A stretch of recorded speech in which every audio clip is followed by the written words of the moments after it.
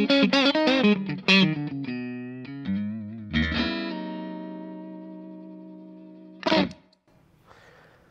friends, it's Justin Fox at Mojotone, taking a look at the American Series Lite 212. Uh, this cabinet is constructed out of 3 quarter inch solid pine and it has quarter inch finger joints. And this is a really good option for someone that wants a nice, open, American style tone. You've got a partially open back on here and you're going to get a lot of room out of that. Um, this particular cabinet is loaded with some Jensen um, uh, C12Q speakers uh, and we kind of recommend sticking to the 25, 50 watt range. This cabinet only weighs 28 pounds. Um, so it's going to be a breeze to load in and load out, and especially load into your vehicle or trailer um, on your way to your gig. Now, uh, right now I was just playing it through the Mesa Boogie Mark V 25 uh, with a Fender Stratocaster. This is a 62 uh, hot rod reissue. Um, little clean tones and a little bit of dirt. Let's play through it a little bit more and take a listen to a little bit crunchier of tones and maybe a little bit more of that clean tone. So we're going to start clean here.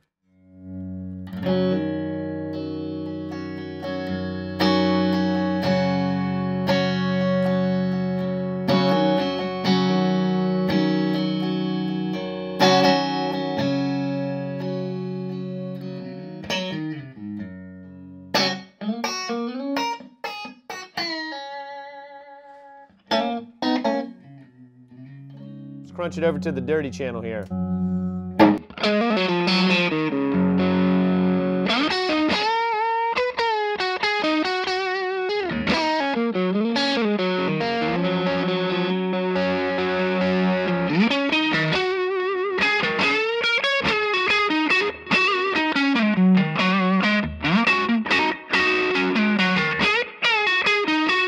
Okay, so here we are back again with the American Series Lite 212. This time we're going to play a little bit through a Marshall MK2 50 watt.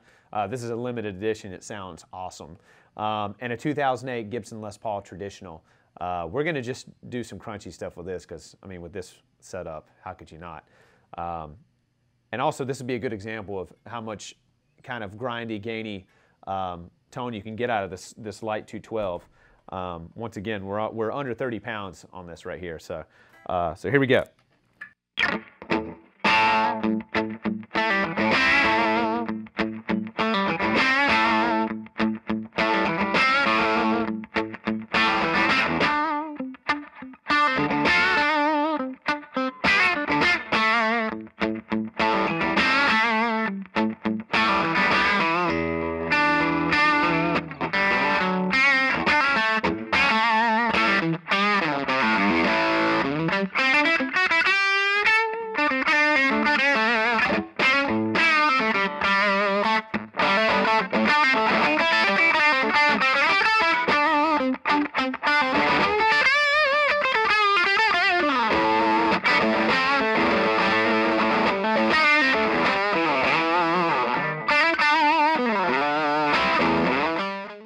I'm standing here with the Mojotone American Series Lite 212.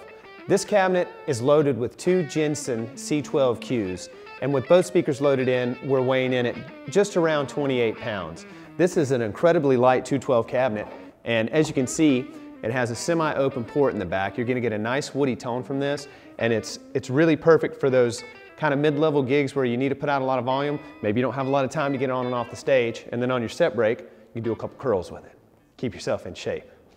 Because we all know that guitarists need to exercise more. So, for more information, visit mojotone.com.